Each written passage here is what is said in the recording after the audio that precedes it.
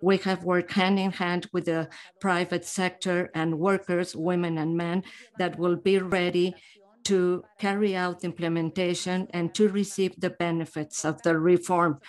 Uh, also, we have carried out reforms to improve minimum wages and to improve the, uh, scam, the scheme of uh, uh profit distribution. And the free trade agreement has been really significant.